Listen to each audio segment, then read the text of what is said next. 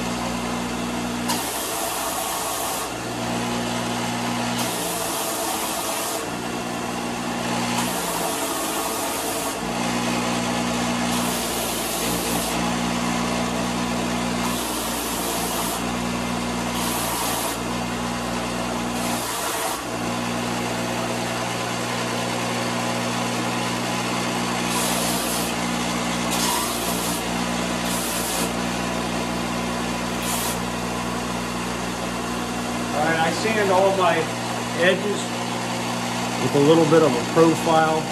Don't like no sharp edges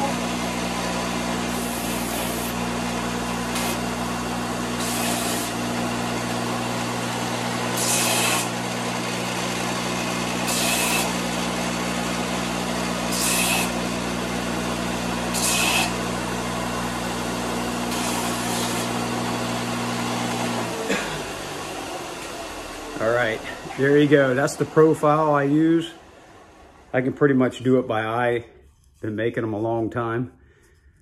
Let's give this a, a test and see how it sounds.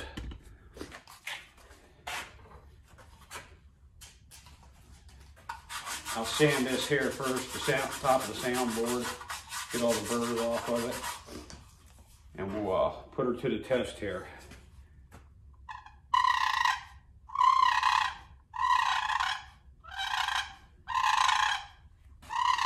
Not bad for the purr.